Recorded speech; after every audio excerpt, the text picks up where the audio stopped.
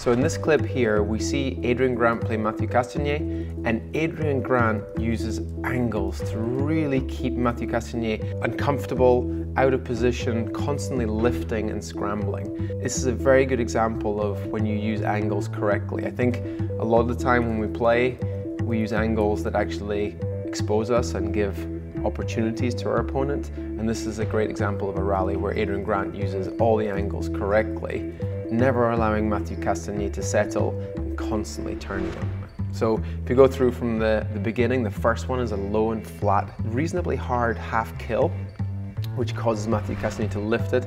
Simple drop, and then from there, this is when he starts to really use angles. Holds it and then hits it cross court on that backhand, then throws in a nice boast, and then in the last one, really pulling it back across Matthew Castagnet. So again, Matthew Castagnet is never allowed to settle on the tee, never allowed to feel comfortable in any position. So great example for all of you out there to actually think about how can I use angles to really make it uncomfortable for my opponent without actually putting myself under too much pressure.